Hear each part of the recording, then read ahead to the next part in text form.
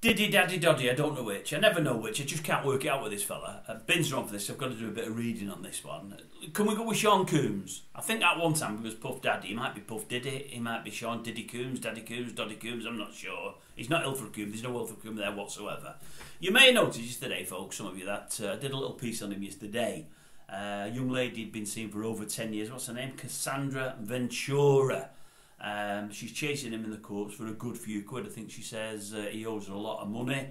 She's got some lawsuits against him. I think she's trying to go for about twenty million pounds, if memory serves. Now we heard yesterday on the back of this uh, lawsuit, she was also uh, insinuating lots of other things, some really, really bad things. But at that stage, as of yesterday, from what I'd read, she hadn't gone legal on these things. She just mentioned them, but hadn't gone to the police about them. She's saying in the 10 years she was with him, he seriously sexually mistreated her, abused her, including rape. He's gone as far as rape on at least one occasion. I think there's more than one occasion, to be honest with you. But she's not gone legal with any of that. The, the, the uh, smart money was saying she was bringing all these things up as a way of strong arming him, maybe blackmailing him to pay off what she wanted, and she'd go away without any of these accusations going to the police and going to court.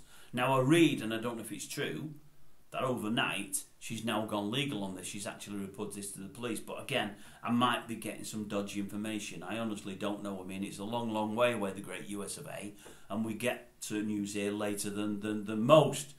But it's now said that she's going legal on all of this, but she's added a few things there. I mean, yesterday she mentioned things like trafficking.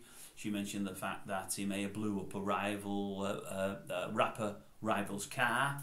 Um, she's saying today, as well as raping her, He's actually uh, he's been filming her with male prostitutes. He's made her go with male prostitutes, and he's filmed her. And whilst filming her, he was sexually um, pleasuring himself. Um, anyway, he's a 54 year old now. She's 37. She's been with him for a number of years.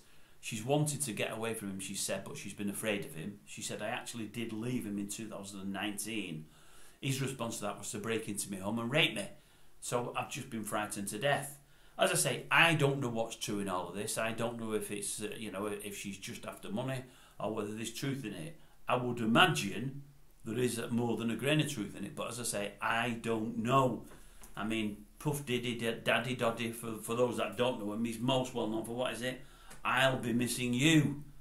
I think his friends and family might be missing him for a number of years if these accusations are proved uh, to hold any weight. I think he might be inside for a good while. Anyway, he's got a lot of money, he's got a lot of fame, he's got a lot of power. Maybe he can fight these things, and maybe, just maybe, he's done nothing wrong. But we hear these stories so many times about the powerful people in the media, and nine times out of ten, they are guilty of sin. Let's see how this one goes. But as I say, I believe it's now gone legal. I don't know if that 100% is the truth, but that is what I've read earlier on today. So I thought, folks, I would share it with you. Wonder what you think.